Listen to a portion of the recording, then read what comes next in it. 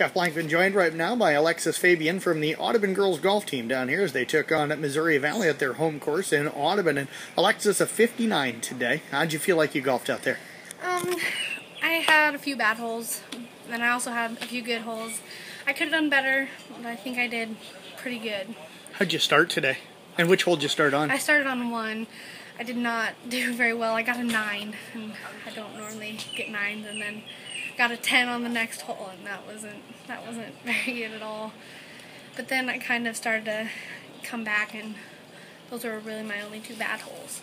What kind of settled in for you after those first two holes then? I don't know. just start hitting the driver better or were um, you no my driver was actually really good tonight the whole time.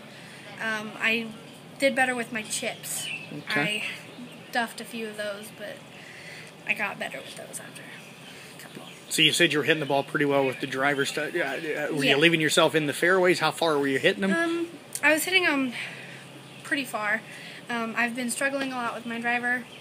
Just they're in my swing, and I was hitting them up really high. But tonight they all went pretty far. Most of them were in the fairway. I had a few in the rough, but I really good. How'd your iron play go then? Pretty good. Yeah, it was.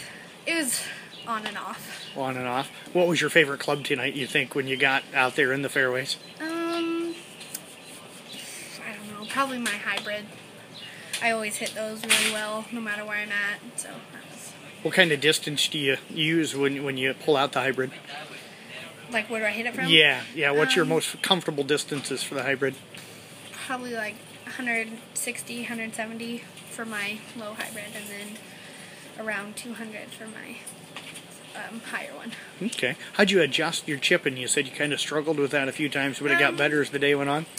Yeah, I started to like accelerate through and not hit down on it as much, and so then that was helping get them up and not duffy. Okay. What was your best hole today? You think?